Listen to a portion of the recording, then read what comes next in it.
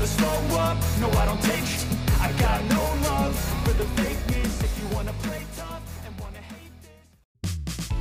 Berikut.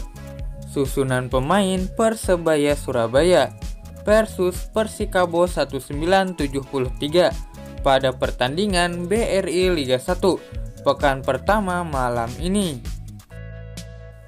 Persebaya Surabaya akan menurunkan Satria Tama, Catur Pamungkas, Rizky Ridho, Koko Ari, Alwi Slamet sebagai kapten, Muhammad Hidayat, Higor Pidal, Ahmad Nupiandani, Silvio Junior, dan Soya Mamoto.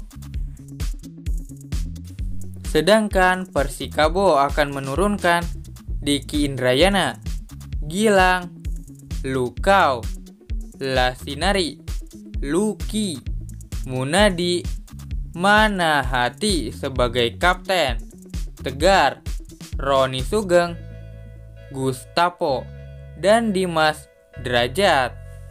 Kira-kira di mana nih yang akan menang pada pertandingan malam ini? Patut kita nantikan ya.